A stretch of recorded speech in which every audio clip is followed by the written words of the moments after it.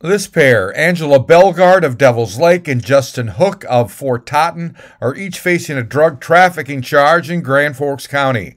They've each been charged with felonies of possession with intent to deliver fentanyl and possession of drug paraphernalia.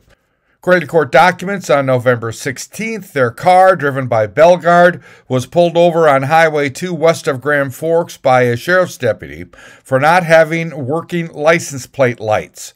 Hook had active warrants, which led to a search. 67 M30 fentanyl pills were seized, along with drug paraphernalia. I'm Neil Carlson reporting for iNewZ.TV.